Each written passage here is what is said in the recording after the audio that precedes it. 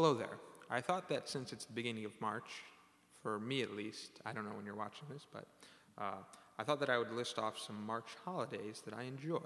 So, without further ado, on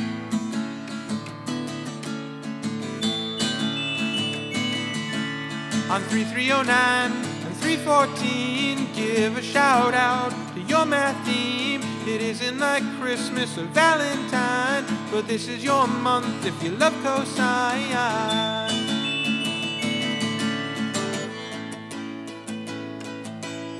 Three, three, oh, nine. What do we see there?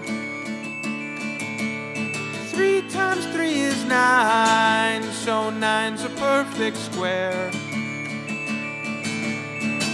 We're gonna call this square root day. It doesn't happen often, it'll soon go away. Hey, hey, on 3309 and 314, give a shout out to your math team. It isn't like Christmas or Valentine, but this is your month if you love cosine.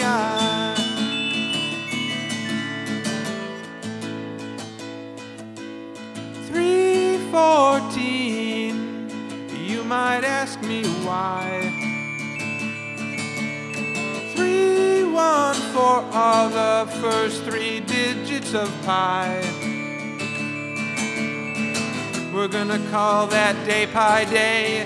3.14159265358.